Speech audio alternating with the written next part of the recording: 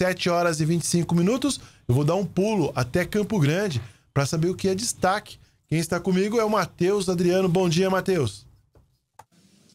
Bom dia, Israel. Bom dia a toda a nossa audiência. Começou ontem aqui na capital a Operação Faixas Exclusivas do Batalhão da Polícia Militar de Trânsito, o BPM-TRAN. Essa operação segue até sexta-feira para coibir as irregularidades nas faixas exclusivas, os famosos corredores de ônibus que têm gerado muitas reclamações aqui em Campo Grande. Esses corredores eles foram instalados ali em três avenidas aqui da capital, geralmente ali do lado esquerdo, e eles são para o uso exclusivo dos ônibus, além de veículos de emergência e táxis que podem trafegar por ali. Mas infelizmente alguns carros acabam fazendo uso irregular e gerando alguns acidentes.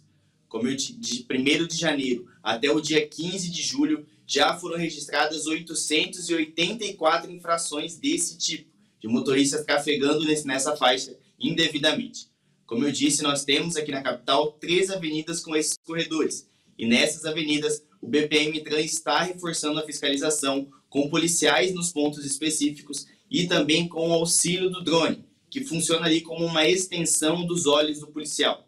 Só no primeiro dia dessa operação, como eu disse, começou ontem, só nesse primeiro dia foram registrados 331 autos de infração. Então, muitos motoristas aí fazendo uso irregular.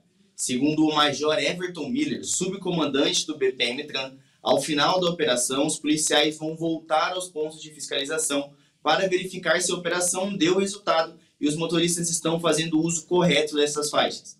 Caso sejam identificadas novas infrações, a operação será prorrogada por mais uma semana. Quem faz uso indevido dessas faixas para ônibus comete infração gravíssima, com penalidade de 7 pontos na carteira, além de multa de 293 reais.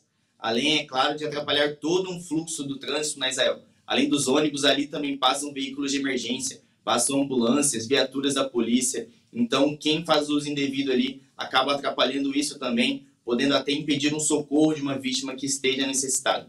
Então, segue essa operação aí até sexta-feira. A gente espera que dê o resultado aqui na capital.